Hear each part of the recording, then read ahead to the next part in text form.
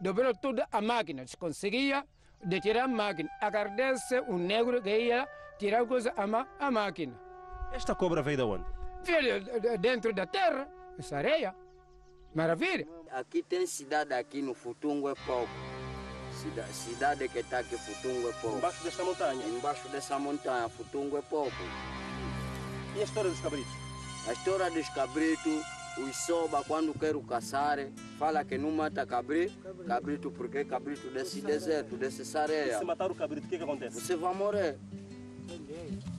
E onde é que Ele não vem cabrito, vem, vem aí que? Veado. Veado.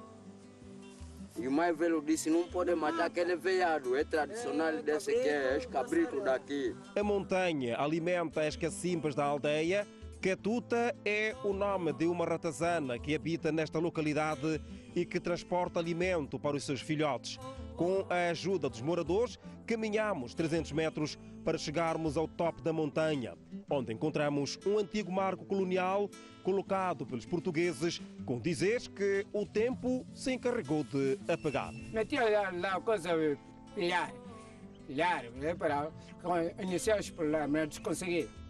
Por que é que eles conseguiram? E através da situação da guerra, ou mesmo assim, antes da situação da guerra, através dessa areia, não gostava de coisa português. Essa pedra é pedra catuta, essa é catuta, é esse nome dessa elevação. O colono é que deixou esse carimbo, é do colono. Tem um segredo aqui que o colono deixou esse sinal. Para completar a beleza da montanha de Catuta estão também as pedras Camungongo.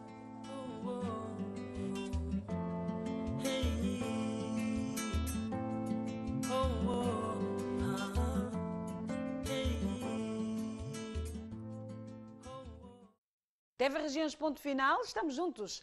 Daqui a oito dias, fiquem com Deus.